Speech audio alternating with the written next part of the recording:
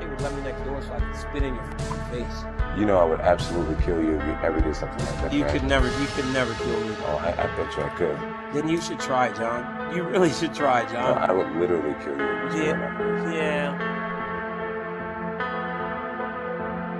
Titania, the reigning, defending, undisputed UFC light heavyweight champion of the world,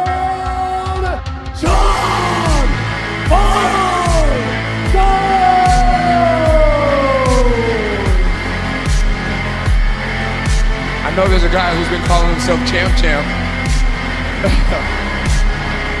I mean, what guy just gives up his belt because somebody else made it home? Daddy's home, DC. Prove to the fans you're a champ champ. Come get a taste. I'm here. Get your belt back. They'll be waiting right here.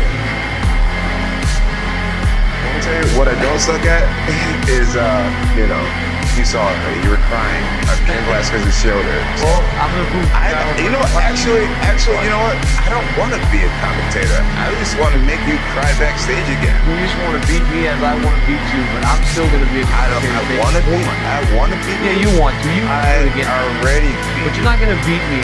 Oh, so you're not gonna beat me.